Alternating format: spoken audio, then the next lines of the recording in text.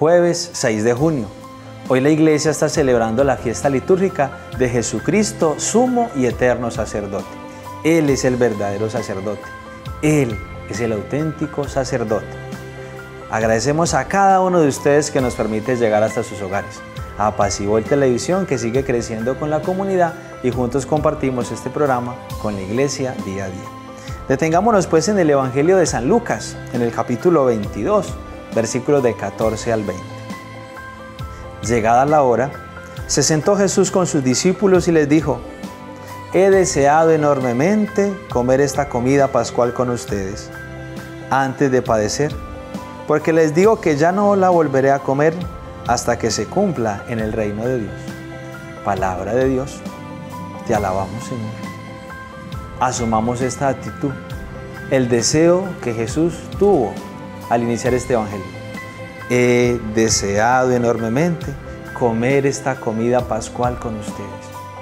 Jesús desea también sentarse en nuestra mesa para compartir el pan de su palabra. Jesús desea acercarse y sentarse en nuestra mesa para compartir el pan eucarístico.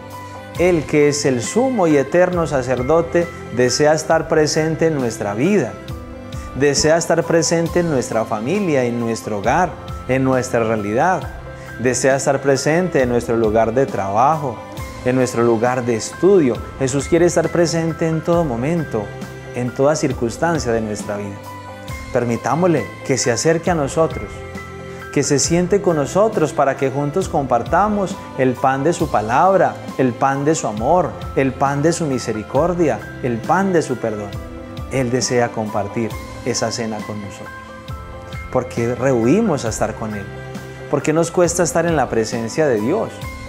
Dejemos que realmente sea Él quien reavive en nosotros el amor, la caridad, el deseo ardiente de estar en su presencia, porque desea compartir la cena con nosotros.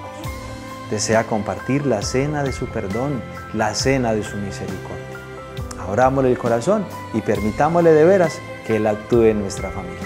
Agradecemos a cada uno de ustedes que nos permite llegar hasta sus hogares a través de el Televisión y quienes a través de las plataformas digitales también con nosotros comparten con la iglesia día a día. Dios les bendiga. ¿Quién como Dios? Nadie como Dios. El día de hoy les voy a hablar de un beato que está próximo a ser canonizado que se llama Carlo Acutis. Este santo fue un joven que murió a la edad de 15 años debido a una, a una leucemia.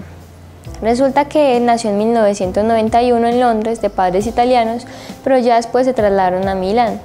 Eh, él creció como un niño normal, un adolescente normal, él como nunca pues fue, no fue ni monje ni religioso, no, fue realmente un adolescente normal como de, la época. Él le gustaba el fútbol, jugaba videojuegos, eh, miraba películas de acción pero sin embargo, eso no impidió que su mayor amor fuera la Eucaristía. Él decía que la Eucaristía era su autopista al cielo y que no había nada más importante que amar a Jesús Eucaristía. Él también había hecho incluso una exposición de milagros eucarísticos en la que mostraba como las maravillas y la existencia de Jesús ahí.